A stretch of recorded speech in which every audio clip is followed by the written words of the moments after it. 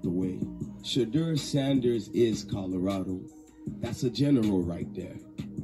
That's a future NFL quarterback that has what it takes to lead a team.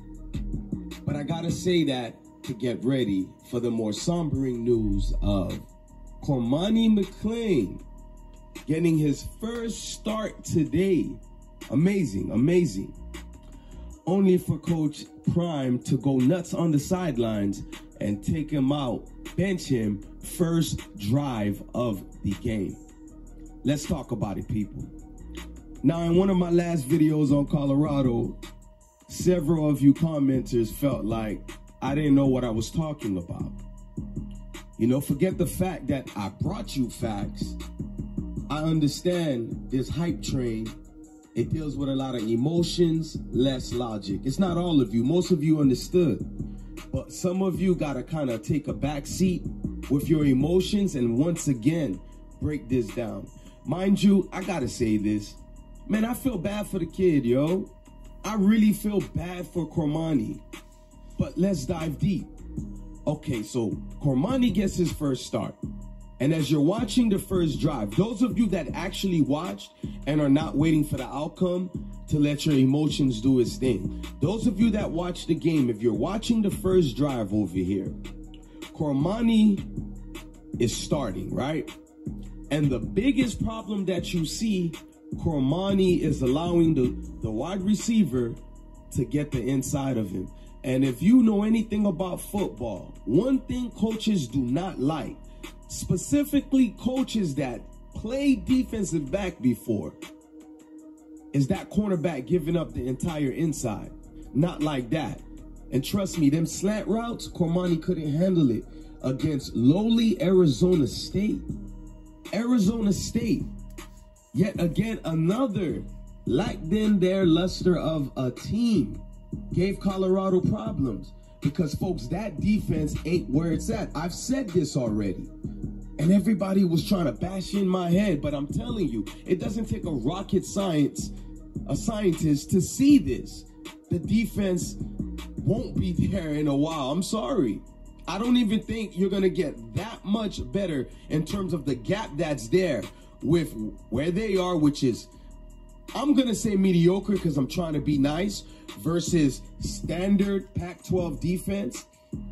Do you realize if they just had a basic defense that was good, don't even need to be great, they could do great things against teams in the Pac 12? But that's how bad the defense is.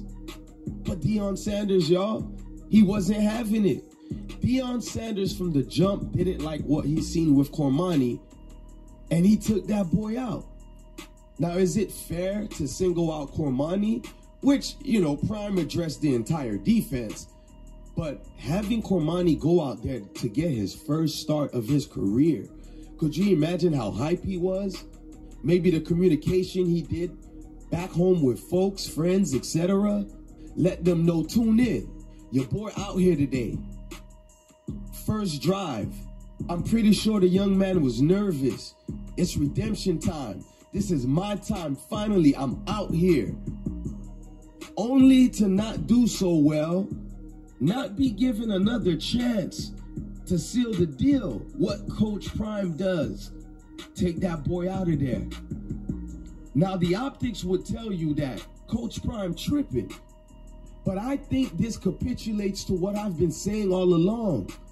There's internal issues going on with Cormani and Deion Sanders.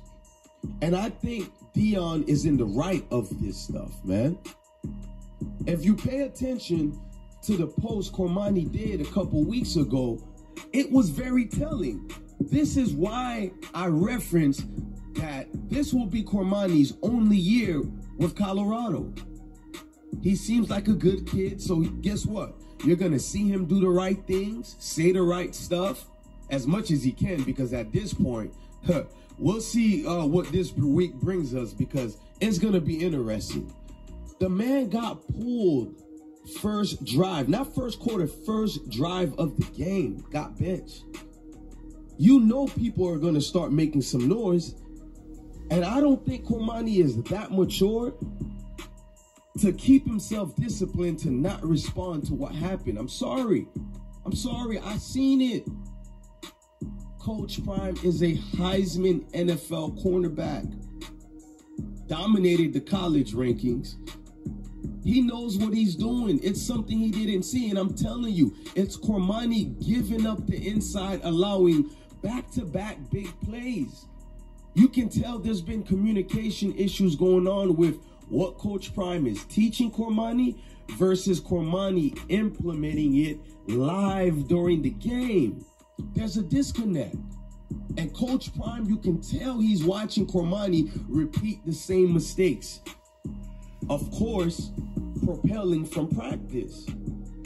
For Coach Prime to take Cormani out that quick, it's things he already seen in practice, which is the reason why he didn't want to put Cormani out there. Mind you, Cormani never been hurt. He just kept telling us, Prime that is, the boy ain't ready. And you know what Coach Prime said? He ain't that good.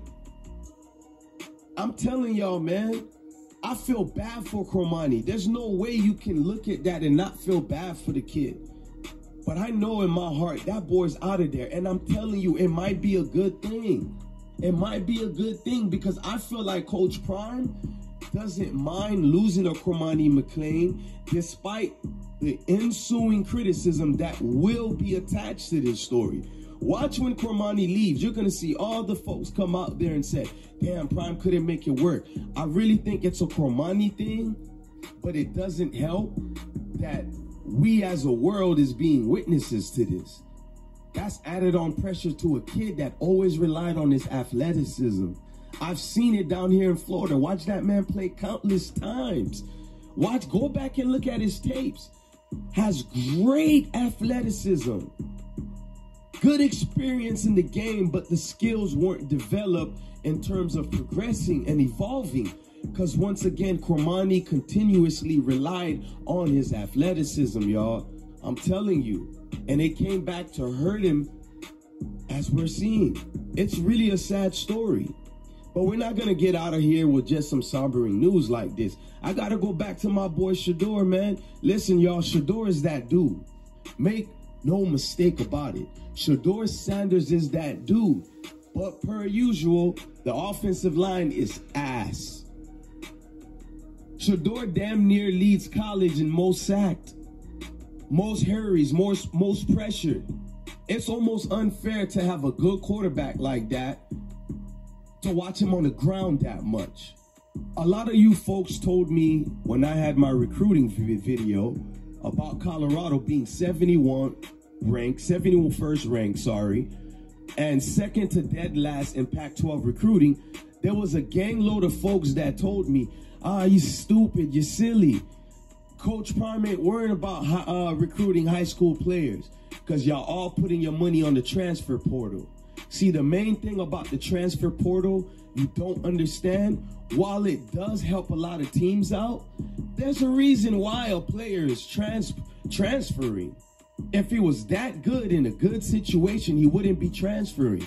So guess what? All of the negative aspects that those players had that didn't work with the other teams, what made you guys think it was automatically going to be a success because they transferred to Colorado? And let's get this thing straight right here, right now. The last year's Colorado team, not coached by Prime, all them guys is out the door. They were hot garbage honestly, any basic team would have done better than 1 in 11. But just because Prime had 80 plus new players on the team, why did y'all think it was going to be something so amazing of a transition? A lot of players transfer for a reason, guys. Maybe most of them couldn't cut it from the previous teams they were at. For whatever reason, all them transfers to me personally doesn't look like they warranted too much. I'm sorry. You're seeing this thing unravel right in front of us because unfortunately, you got to have, you know, greatness in Shedeur Sanders being wasted behind an awful line like that, a defensive line that can't put pressure on a pipe if it was worth their damn life. Defensive backs that can't tackle for it. Shiloh, by the way, we all seen that. Tighten up, my boy. I actually like you. Tighten up, my boy. I don't want to get you stiff armed into the underground railroad like that, bro. I don't want to see that again. So get back up and try again, bro. I mean, guys, did y'all watch that game? The tackling was so abyss, man. Deion called them horrible, man. Look, I don't know what what else to say. Some of y'all think I'm haters, but it's starting to get rough watching Colorado because you really want the best for them. But the things we've seen, Cormani being benched on the first drive, it's not looking good. But clearly, Coach Prime can instill some resolve because these boys keep on holding on, man. But how long does that work? These last minute wins against mediocre teams like a one in four Arizona State. Look, if you still rocking with me, man, do me a favor to the new folks on here. Subscribe, like, and share, y'all. And to the returning folks, just keep coming back. I'ma keep